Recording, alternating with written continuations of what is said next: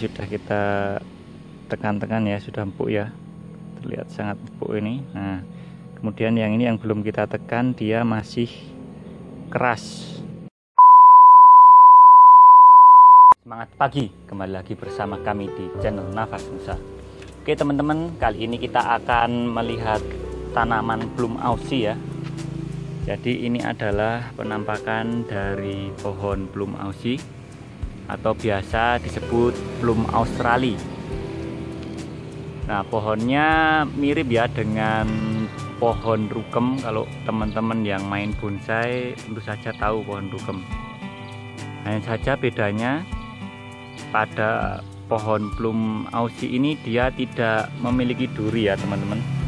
Jadi di batangnya itu mulus dia tidak berduri sedangkan di pohon rukem dia akan memiliki atau muncul duri ya di pohon rukem kemudian eh, pada bagian daunnya pada plum aussie ini daunnya atau ujungnya ya teman-teman dia meruncing.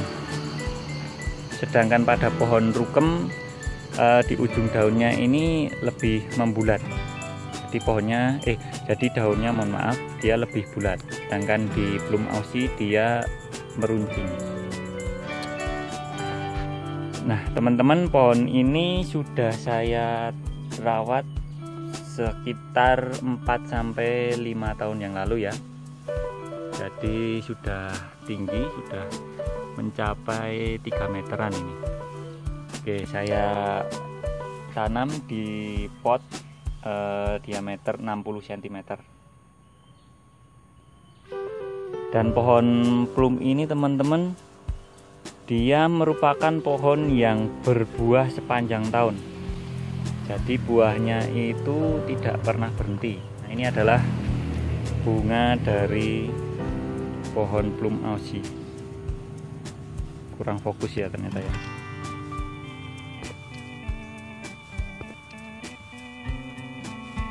mirip sekali dengan bunga pada pohon rukem. Nah setelah bunga ini nanti akan jadi buah seperti ini.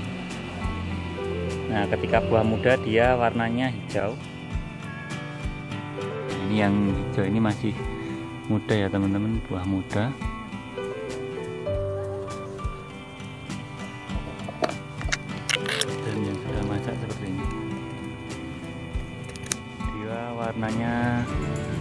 merah utama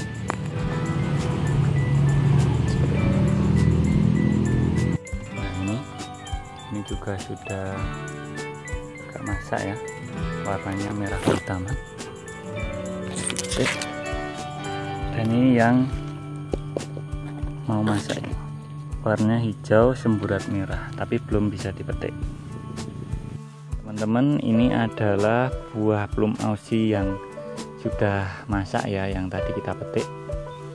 Nah ketika teman-teman tidak mengkonsumsi buah ini saran saya teman-teman harus menekan-nekannya dulu ya. Jadi diremas-remas dulu buah ini sampai uh, dia terasa empuk.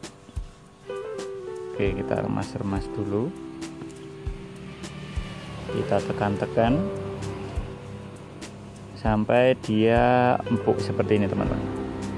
Nah yang ini sudah kita tekan-tekan ya sudah empuk ya.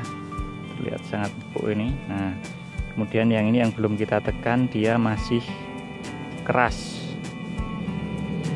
Nah kenapa kita harus menekan-nekan buah ini sampai empuk?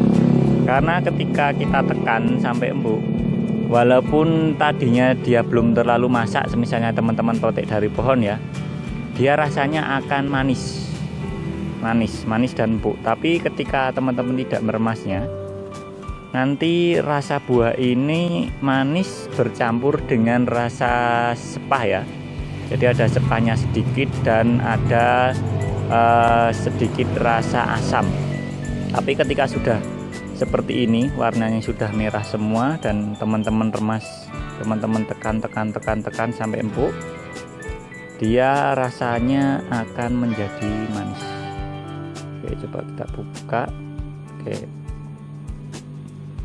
Nah jadi ini penampakan eh, daging buah ya dari plum nasi yang sudah masak. Warnanya coklat. Warnanya. Dan teksturnya mirip dengan uh, buah kersen atau talok. Empuk ya. Coba kita makan. Hmm.